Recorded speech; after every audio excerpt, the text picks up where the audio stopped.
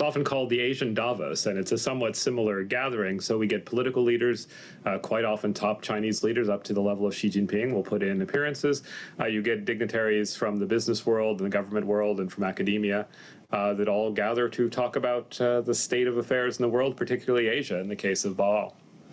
And obviously, the, the state of the world at the moment, a precarious one for a lot of countries. So, just how important is this forum, especially given some of the risks and the challenges amid the pandemic?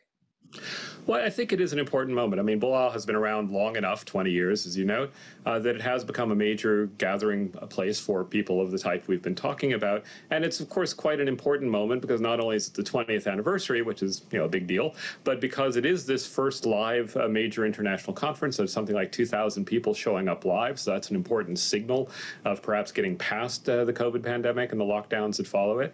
And of course, the question of economic growth, particularly economic growth in Asia, is very much on everyone's mind, and the ability to gather in person is, in a way, a signal of, of optimism on that front. Plus, you know, the GDP numbers that are up in China, and, and much of the theme at Boao is about intra-Asian uh, trade and, and integration.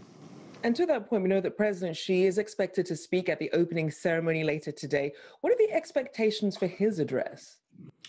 Well, I think this is a moment for China to assert a number of, of, focuses and goals. So, one is, of course, to show that China is back and the economy is growing. It is an attempt to put forward what Xi Jinping will probably describe as an Asian perspective, and some might describe as a Chinese perspective on global governance.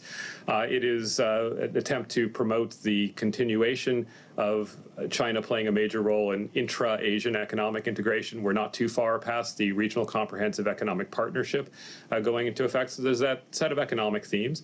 There's an attempt to hit the theme of openness. Uh, one of the notable sort of side events is the US China Entrepreneurs Symposium, which is an attempt to sort of keep the business side of what is on the political side a very fraught US China relationship uh, kind of up and going. There's some major US corporate titans showing up to that end. Uh, and of course, uh, in addition to COVID, which is on everyone's mind and will be a focus here. I expect we'll get some discussion of the role that China has played in uh, sending vaccines out to the world and in China's uh, successes after some initial uh, missteps on the on the COVID crisis. And we're also going to see, I think, some emphasis on carbon neutrality. China has set a goal of carbon neutrality of 2060 with peak carbon in 2030, uh, and that's obviously a big theme. It's one of the few areas where people are somewhat hopeful about U.S.-China cooperation.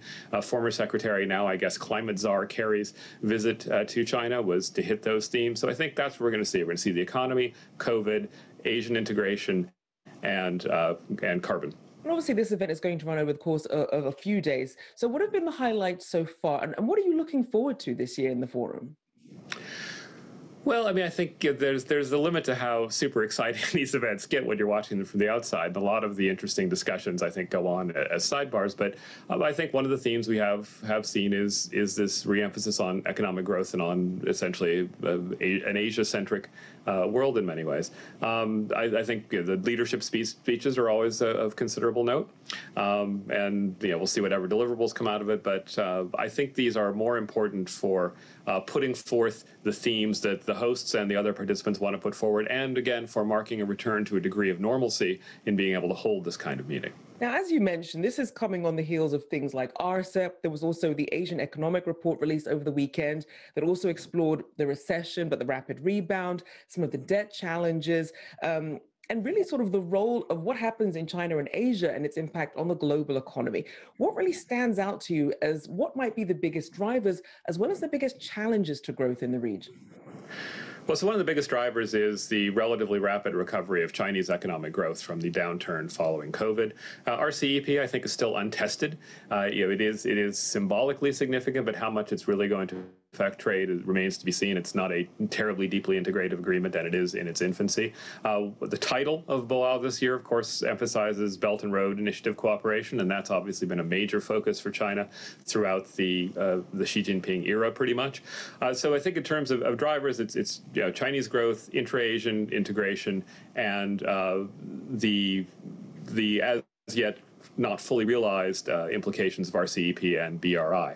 As to the obstacles, uh, well, you know, we're still in a tough time. Most of the world is not vaccinated. You're seeing rates of COVID go up quite dramatically in the developing world. One of the puzzles was why the developing world hadn't been hit harder, and now, unfortunately, we're starting to see it in India in particular, but in Brazil, uh, and that's a real uh, threat. Those are two big economies, uh, and I think we're also just seeing uh, the fallout that we don't really fully understand the contours of of U.S.-China rivalry. Uh, we have not seen a return to a pre-Trump era normalcy. The tariffs are still in place. Uh, the U.S. is being quite vocal about the complaints it has about China's economic behavior, uh, and China has shown a, a uh, preparedness to engage in some sort of tit-for-tat backs and forths on this front. So the obstacles of, of protectionism and of uh, concern about what each side regards as the other's political use of economic openness, I think is is a real threat. Um, plus, you know, not all the world is growing very well yet, not just for COVID reasons. Even if we could put the pandemic behind us tomorrow, it's going to take some time to take back up the slack, to figure out